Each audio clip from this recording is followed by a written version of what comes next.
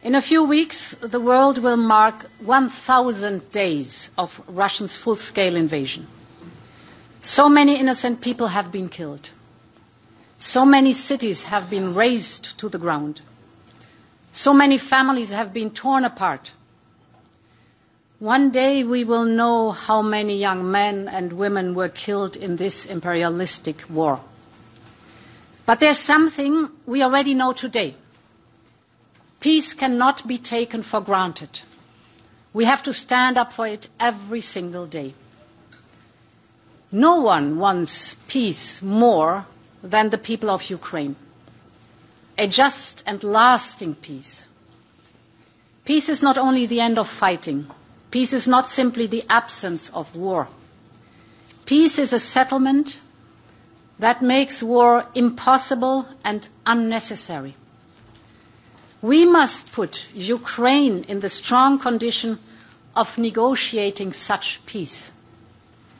And this is why the integration of Ukraine in the European Union is for us at the heart of our peace efforts. Putting Ukraine in a strong position is also about the economy.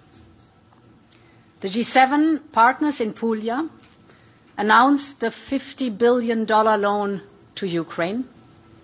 And I'm pleased to confirm that Europe will be providing up to 35 billion euros.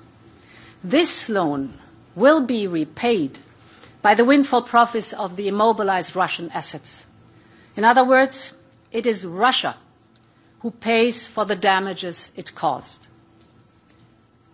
And Volodymyr, today you described how Russia tries to plunge Ukraine in the dark by massively targeting your energy infrastructure.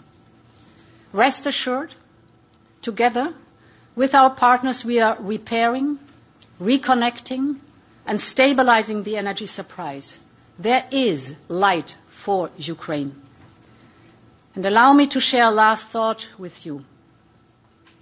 We can never match the sacrifices the Ukrainian people are making every day to stay free and independent.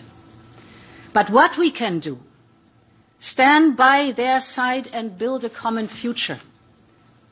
Five days ago, I was in Kiev and saw several startups, and it was really touching.